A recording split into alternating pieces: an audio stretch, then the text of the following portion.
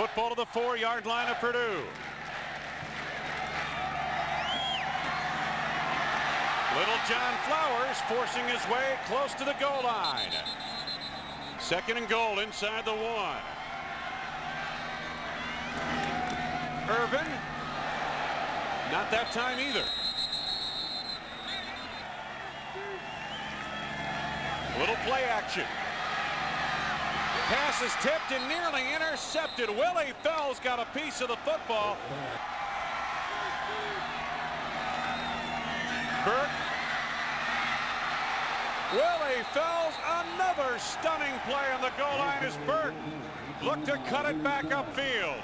A loss of three yards back to the four, and the Purdue Boilermakers turn back the Spartans at the doorstep.